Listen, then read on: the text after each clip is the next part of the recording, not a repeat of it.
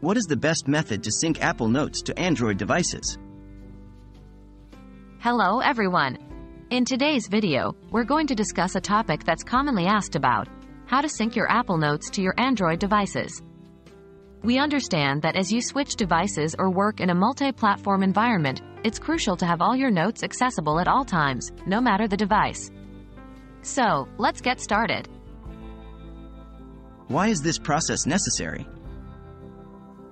The Notes app on your iPhone is an Apple exclusive app that doesn't natively sync to Android devices.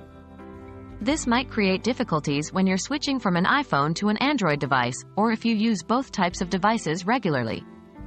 However, don't worry. There's a workaround for this, and we're here to guide you through it. What will you need? To successfully sync your Apple Notes to your Android device, you will need the following your Apple device with the notes you want to sync, your Android device where you want the notes to be synced to, an email account that supports IMAP, most modern email services like Gmail, Yahoo, and Outlook do. How can you sync your Apple Notes to Android? Here are the step by step instructions. 1. On your Apple device, go to Settings, Notes, Accounts. 2. Choose the email account you'd like to use to sync your notes. If you haven't added one yet, now's the time to do so. 3. Turn on the Notes option within that email account. This will sync your notes to the email via IMAP. Now, on your Android device, download an email client app that supports IMAP. The built-in Gmail app is a good option.